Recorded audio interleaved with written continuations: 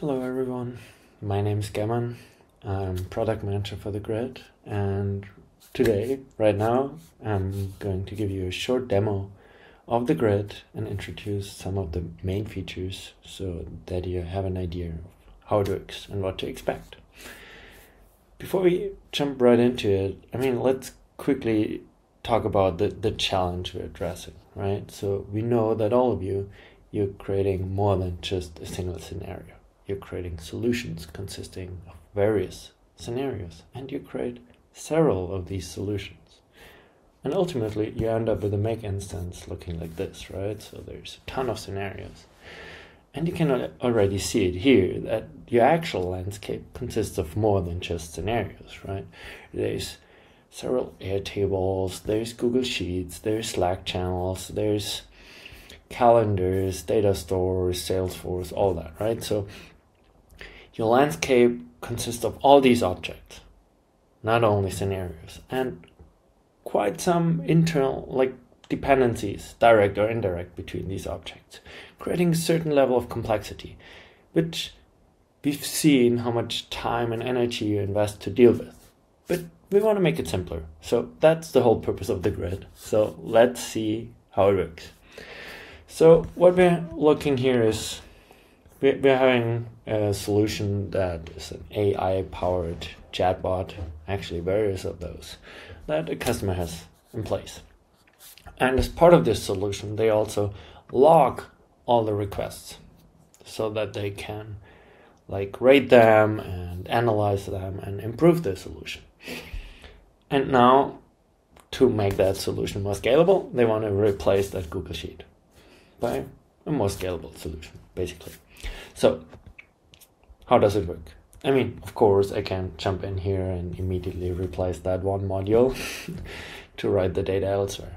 But I'm quite sure that there's various other scenarios that use the same Google Sheet, right? So typically I would have to go back to the list, check for all these scenarios if they use Google Sheet, if it's actually the same, and then replace it. But with the grid, it's way easier. With the grid, you can simply zoom out of that one scenario and have a look at how it interacts with internal and external objects. So this is what's happening when, when you enter the grid, right? So here what you're going to see is the scenario itself and the internal and external objects it interacts with. So it's triggered by a webhook. Of course, you can move along and you'll see actually that webhook is triggered by three scenarios. And you'll see the Google Sheet itself. Of course, you can open it if you want to have a look. So no need to have a note in the scenario with the URL. and you can see all the scenarios that interact with it. So in total it's five. And even how.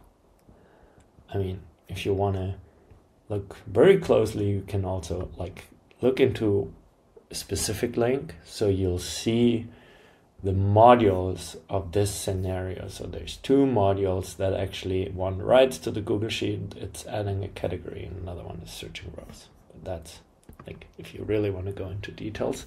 But overall, what you'll see is the list of all the scenarios that read or write from that Google Sheet. So if you wanted to replace it, you know exactly which scenarios to touch.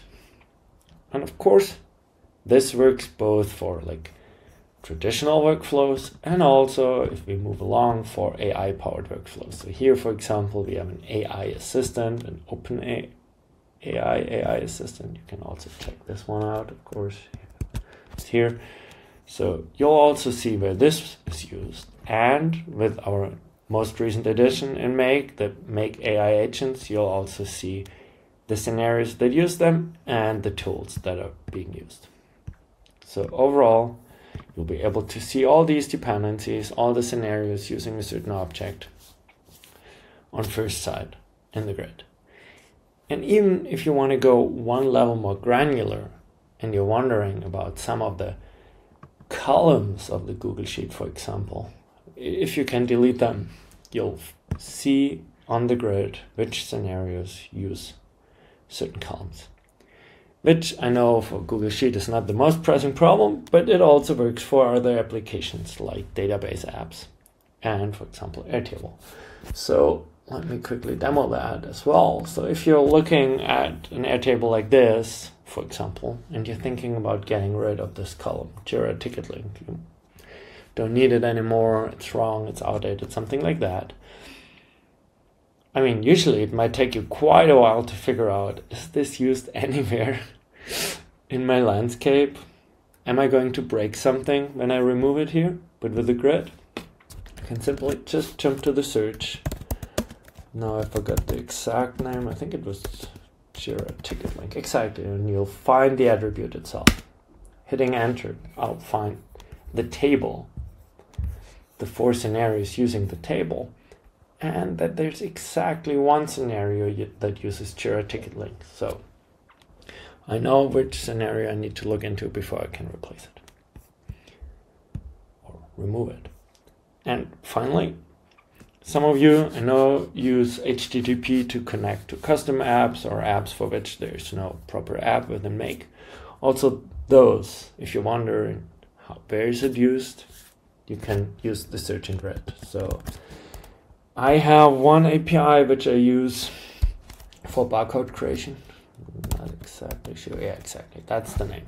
So also for those, I can figure out which scenarios use this service within the grid.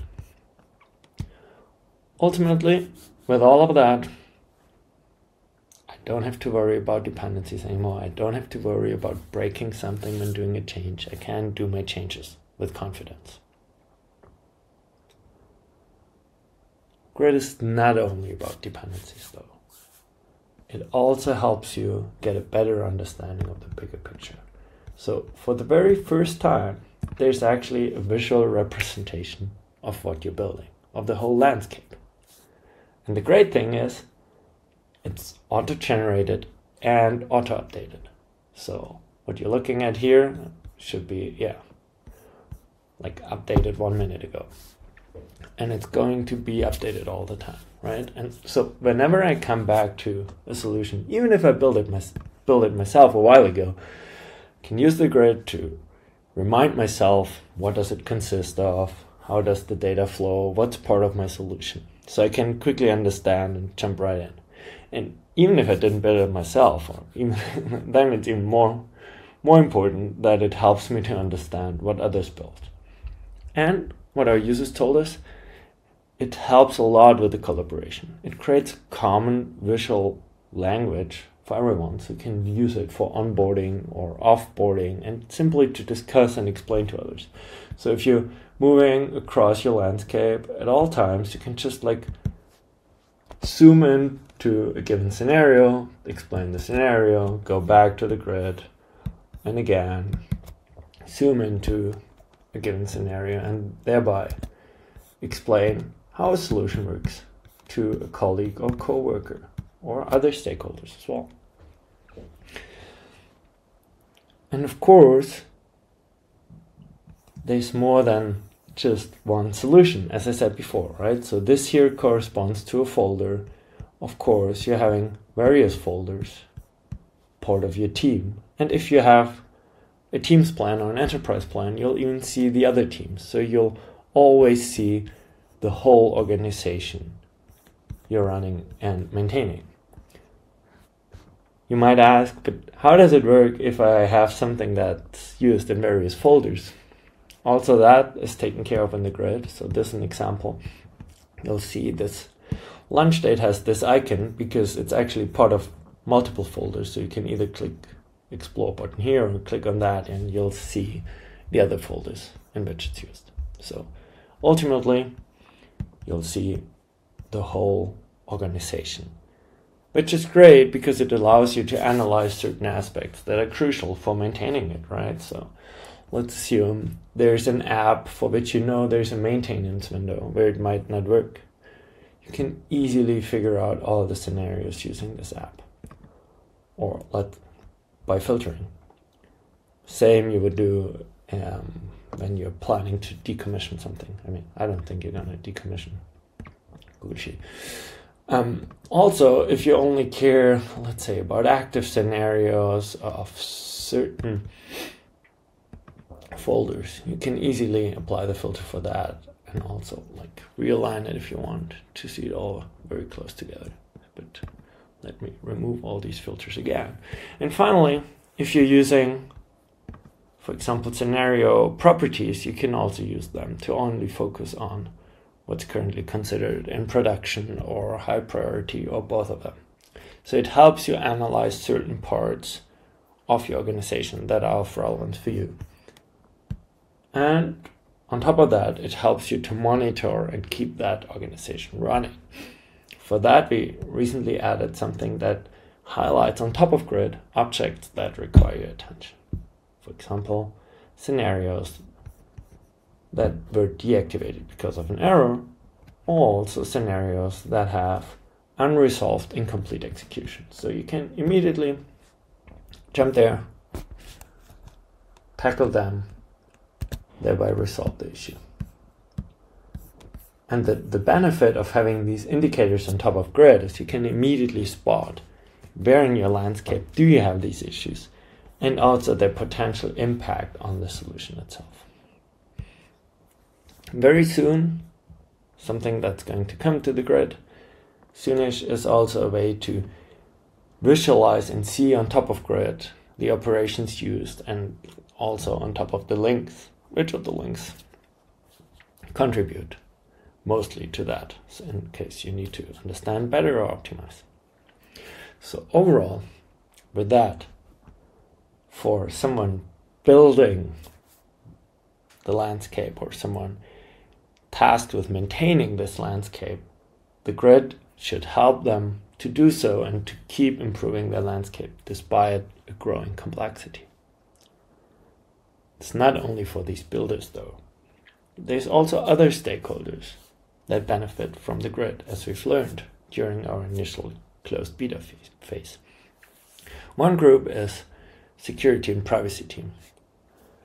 There's a couple of use cases they're very interested in. One of them is understanding how sensitive data is flowing through your system.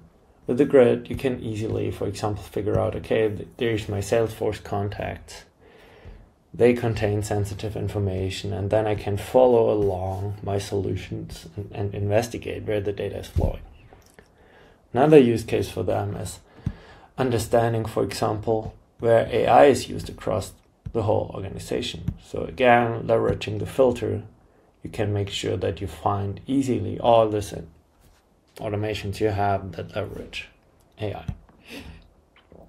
And finally, Grid also is very helpful for the senior IT leads responsible for make overall.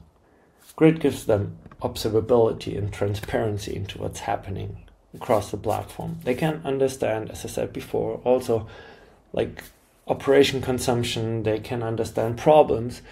And most importantly, they know that the, the natural inherent complexity won't slow them down at any point in time, someone can come in, understand what's happening, contribute, improve the architecture as well. So ultimately, they get the confidence that with Make and the grid, they can just keep scaling their usage. So this has been a short or not so short demo of all some of the main capabilities of Grid. Um, I hope you liked what you saw. I'm really looking forward to having you use the grid and hearing your feedback in the future. Thank you so much.